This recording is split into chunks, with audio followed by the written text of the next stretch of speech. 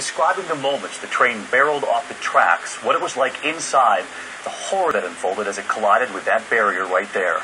And tonight here, this image, showing the American 18-year-old Stephen Ward from Utah being helped at the crash scene. ABC's Nick Schifrin in Spain for us again tonight. Out of the charred, twisted wreckage, somehow, Stephen Ward walked out alive. I've never been to hell, but it's probably a pretty accurate description. Ward was in the last car. He noticed on a display panel the train was racing 110 miles an hour, double what it should have been doing. Then it started to happen. Honestly, I just remember moving sideways. Tilting to the side, he first thought nothing of it. Then suddenly he was thrown, flying through the air. Last thing I remember is the feeling of leaving the tracks, and we were, I blacked out in midair. There were a lot of people were screaming, a lot of people were crying. When he opened his eyes, this is him, bloodied, stunned.